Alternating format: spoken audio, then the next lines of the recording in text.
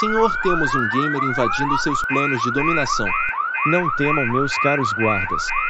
Porque aqui é somente o caos de perdedores. Haha.